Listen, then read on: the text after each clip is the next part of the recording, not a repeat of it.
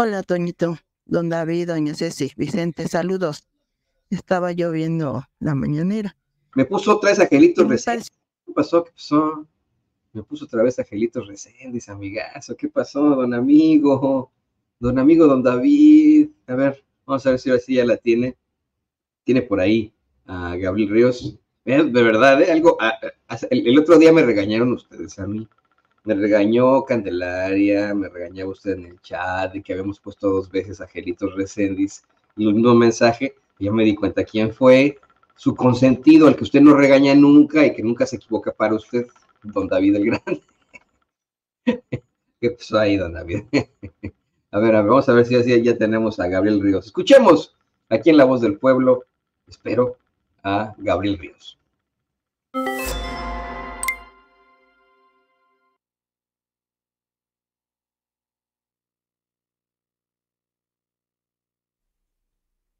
Buenos días, Universo sin censura. Gabriel Ríos les abraza. Quiero decirles que la actitud de varios hijos de migrantes que se avergüenzan de su origen mexicano y de la lengua castellana de sus padres es algo que he escuchado desde hace más de 50 años. Me regresó a la memoria por el comentario que hizo Toñito Ruiz el día de ayer. Por ello me permito a continuación dirigirme a estas personas aclarando que nunca he estado más de dos semanas en suelo norteamericano y ello por motivos de trabajo, lo que no me impide haber estudiado el nacimiento y trayectoria de esa nación y sus habitantes. Pido a Toñito Rodríguez que haga la recapitulación correspondiente de español y se lo agradezco de antemano. Dear people, you can't see very tall skyscrapers in either Manhattan, Boston, Chicago, or San Francisco. And guess what? They wouldn't stand up were it not for their strong foundations. That indispensable part of any building that is seldom considered for those who visit or work such constructions. I invite you to visit Mexico and get acquainted with the splendor and philosophical tenets of our ancient civilizations that might help you to put something solid beside your daily consumption of perishable goods that are doomed to become trash and pollute the air, land, and water. In that, in the meantime, are taking youths to have a void life and be candidates to addictions. There's more power in our souls than in our pockets, believe me. Thank you. Y mire, el queridísimo Gabriel Ríos nos mandaba también ahí una, me, ofreció una disculpa porque primero dijo Toñito Ruiz y luego Toñito Rodríguez, no pasa nada, no, no, no lo tomamos a mal. Eh, en este último mensaje, eh, eh, pues ahí, vamos, más bien le voy a pedir a, al queridísimo Gabriel que a ver si nos lo puede mandar también por escrito, hable por cuestiones de la inteligibilidad de la radio, de las transmisiones, a veces eh, se pierde un poco el sentido de, la, de los planteamientos. Pero mira, qué interesante lo que nos dice Gabriel Ríos. Este fenómeno más bien se ha repetido a lo largo de la historia y en, todas partes del mundo. Para nosotros los mexicanos es muy cercano, muy fuerte, muy penetrante debido pues a nuestra historia con los Estados Unidos. Yo voy a insistir hasta el cansancio en que efectivamente somos dos naciones hermanas, nos guste o no.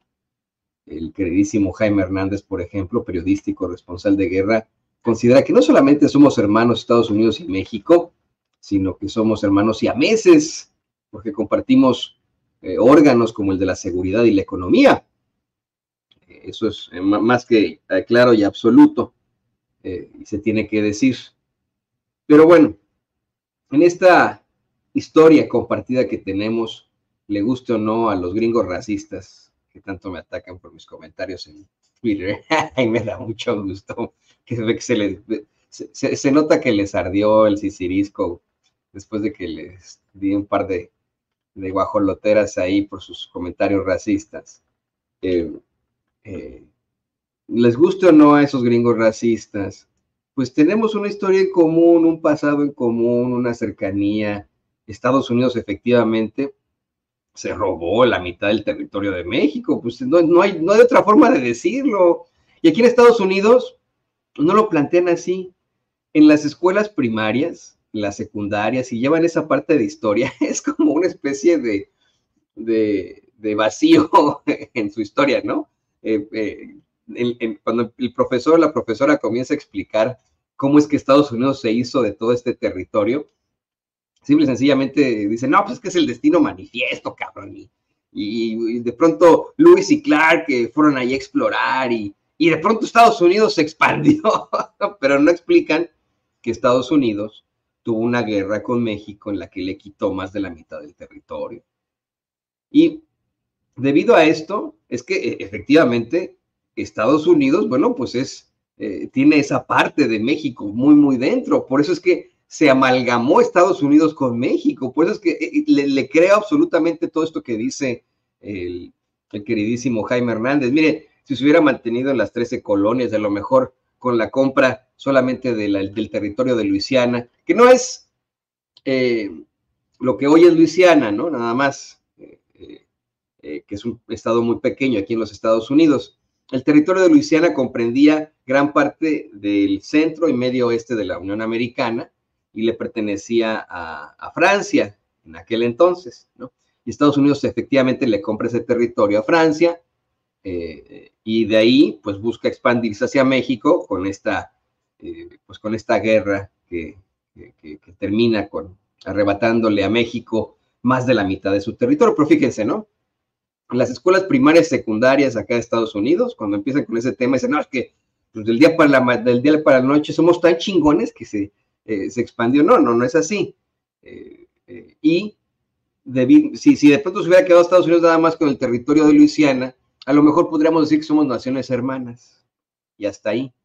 Pero al haber obtenido parte del territorio de México, se amalgamó, se fusionó con México, Estados Unidos, y tiene gran parte de México, tiene esos órganos ya compartidos con México, les guste o no les guste.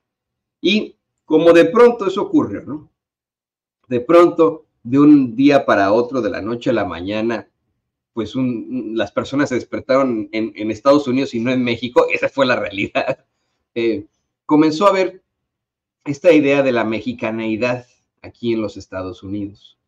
El 5 de mayo, señoras y señores, en definitiva no es una fiesta únicamente mexicana, me, atrevo a decir que es mucho más mexicano-estadounidense que mexicana la batalla de Puebla. Sí, pero ¿por qué, Toño? Pues sí, sí, sí, sí fue una, eh, eh, una batalla en México que nada tuvo que ver con Estados Unidos. No, claro que tuvo que ver.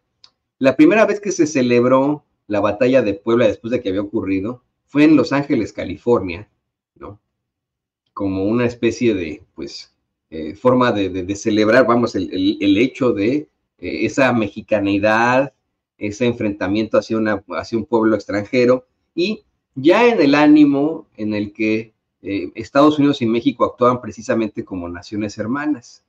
Se ha planteado una y otra vez con el, doctor Hayes Bautista, que yo le recomiendo leer, es muy interesante lo que él siempre anda planteando en sus libros, em, que México y Estados Unidos estaban en ese entonces, en, estos momentos de la intervención francesa, la guerra de reforma, actuando hombro con hombro para consolidar sus propias soberanías. Acá en Estados Unidos, el presidente Abraham Lincoln o Abraham Lincoln eh, se enfrentaba a una guerra civil con la que consiguió, en definitiva, pues abolir la esclavitud. Y en México, el presidente, el mejor presidente que hemos tenido, Benito Pablo Juárez García, se enfrentaba a los conservadores, se enfrentaba a una fuerza extranjera, se enfrentaba a la imposición de un eh, hijo de su mal dormir eh, europeo para poder eh, pues establecer las ideas conservadoras luego de que él efectivamente también hubiera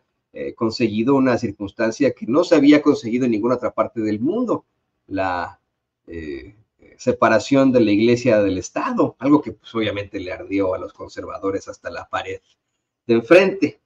Y se ha dicho una y otra vez que el ejército eh, francés o el imperio francés buscaba unirse a los confederados aquí en los Estados Unidos y con eso, eh, pues, hubieran conseguido fragmentar los Estados Unidos, Francia se hubiera quedado con México como una especie de colonia o estado asociado, ¿no?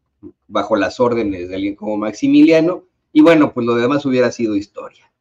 Eh, hubo colaboraciones entre ambos países, entre ambos presidentes, entre Abraham Lincoln y entre el, presidente Juárez, Benito Juárez, para evitar este tipo de circunstancias. Usted sabe perfectamente que la batalla de Puebla fue crucial en la segunda intervención francesa.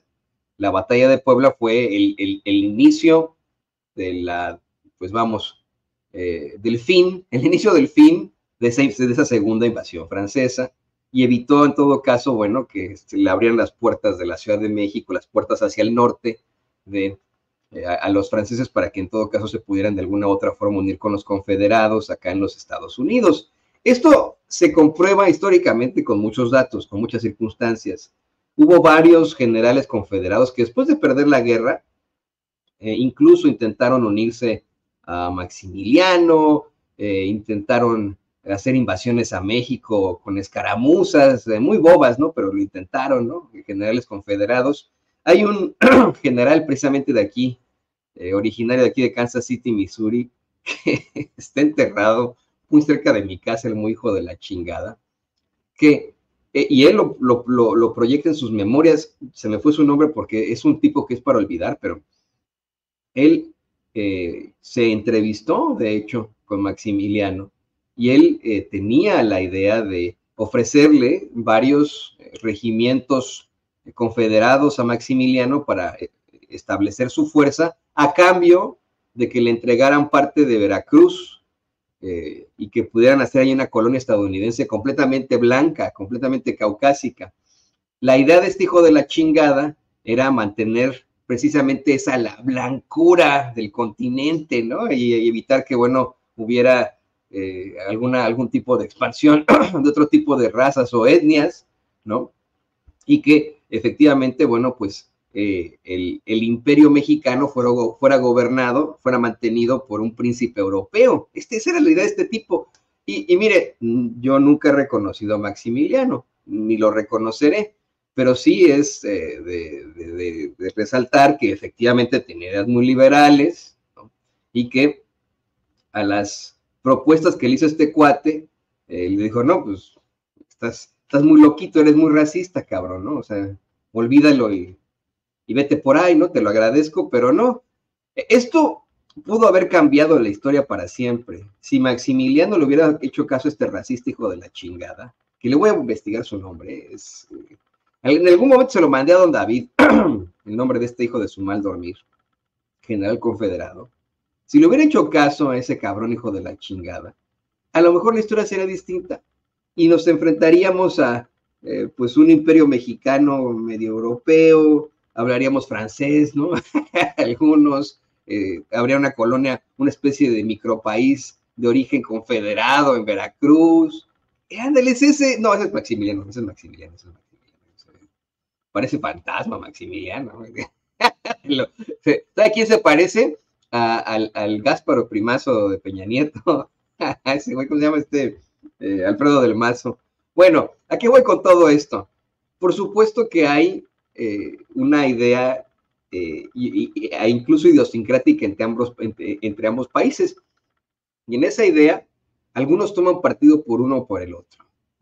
Algunos, eh, después de pasar generaciones en, en, este país, en los Estados Unidos, bueno, pues olvidan sus orígenes y los rechazan de la forma más terrible. Pero insisto, es algo que ocurre en todo el mundo, es algo que ocurre, que le ha pasado a todos los pueblos del mundo, que le ha pasado a todos los países del mundo.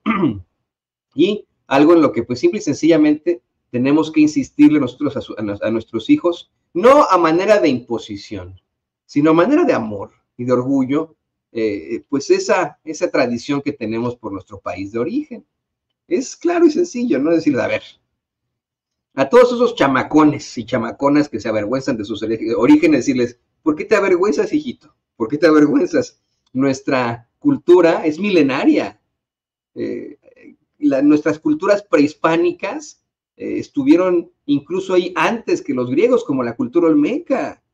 Eh, tuvieron grandes aportaciones a la ciencia como la cultura maya, tuvieron grandes aportaciones a la humanidad en cuanto a instituciones como la cultura mexica.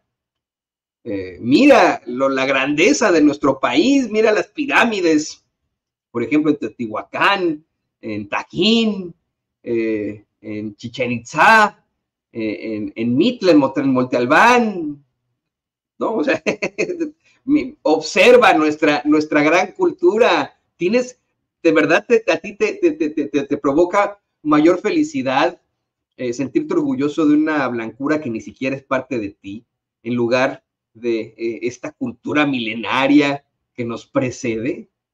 Y nuestro idioma, que ya no es español, es mexicano, es hermoso. Te hace mucho más inteligente, hijo mío, hija mía, el tener dos idiomas y el dominar ambos idiomas. No te avergüences de tus idiomas, no te avergüences de tus lenguas. Si tienes un idioma indígena, una lengua indígena, practícala. Nadie más la practica. Tú tienes el poder de poder ejercer esa lengua. Eso es lo que tenemos que decirle a nuestros hijos y a nuestras hijas. Tenemos que hacerlos sentirse orgullosos, es decirles, pues es de, en todo caso, es de tontitos el avergonzarse de, sus orígenes, ¿no? Es de, pues de gente ignorante, ¿no? Todo lo contrario. Eh, si de pronto te critican a ti por tu color, por tu origen, por tu estrato social, pues te critican los ignorantes porque son clasistas, son racistas y eso los hace muy, muy ignorantes. Tú todo lo contrario, siéntete feliz, lleva en tu corazón el, eh, ese pasado milenario. Siéntete orgulloso, siéntete orgullosa. Eh, y miren, poco a poco, pues, los chiquillos se han dado cuenta de esto. Eh, creo que ha sido generacional, Han habido generaciones que se avergüenzan de su pasado porque sus papás a lo mejor no, no lo insistieron. Pero en estas nuevas generaciones yo he visto muchos chamacones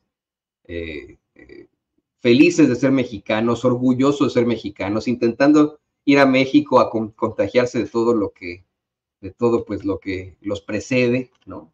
He, visto estas nuevas generaciones muy, muy, muy cercanas a nosotros, así que no, tampoco los, los, minimicemos. Eh, me dice Alex Aguilar, ¿por qué si no se identifican con esta cultura, por qué presionar? Es que no es presionarlos, es decirles, a ver, yo soy tu papá, tu mamá, ¿no? Y de donde vengo, esto es lo que pasaba en donde yo venía y quiero que sepas que compartes mapa genético con esos hombres y mujeres que formaron este eh, gran continente, que caminaron este continente, que hicieron este continente eh, florecer con sus grandes culturas, ¿no? es, más bien contagie, no, los fuerce, no los presione, contagieles este orgullo. Eh, eso puede llegar a pasar, en definitiva. Pero bueno, eh, y esa es mi idea, no, no significa que sea la realidad. Si usted cree que yo soy un idiota, pues adelante, no pasa nada, ¿no? Eh, eso es, le digo, el micrófono de sin censura está abierto para todos. Dice Alex Aguilar que si no, no cree que es mejor que yo escriba historia. Sí, claro, ¿no? La, historia tiene que seguirse escribiendo, pero la historia es la gran maestra de la vida y aquel que no conoce su historia está condenado a repetirla para que no repitan su historia con circunstancias eh, que no les convendrían, a lo mejor pues deberían conocer un poco de la previa. Pero bueno, le decía yo a usted que eh, hay que sentirnos orgullosos y, que eh, la circunstancia tendrá que ser de alguna otra forma distinta. creo que yo creo mucho en las nuevas generaciones. Yo creo mucho que esas nuevas generaciones le van a dar una patada en el culo a los eh, racistas, a los clasistas, eh, y, van a ser nuevas generaciones de todas las etnias, de todos los orígenes. ¿eh? De ninguna forma esto es minimizar o alienar a los caucásicos. No, todo lo contrario. ese es el chiste, que podamos vivir y convivir todos en paz y sentirnos felices y orgullosos de lo que somos, reconociendo que hay diferencias efectivamente, pero, pero esas diferencias no nos eh, eh, determinan en cuanto a nuestro proceder. Pero bueno, qué, interesante, qué bueno que pudimos platicar esto a partir de la reflexión del señor Gabriel Ríos, aquí en Sin Censura, y le digo, no, no pasa nada eso de que eh, cambió el apellido en un momentito, no pasa, no, no, está bien, está eh, le mando un saludo a Alba Telles, qué bonito nombre tiene usted. Alba es muy bonito. Bueno, eh, así como Gabriel, así como Gelitos, usted nos puede mandar un mensaje aquí a La Voz del Pueblo al 773-475-7214. Si nos lo manda desde México o desde cualquier parte del mundo, lo único que tiene que hacer es agregarle un 001 a ese numerote, 001-773-475-7214.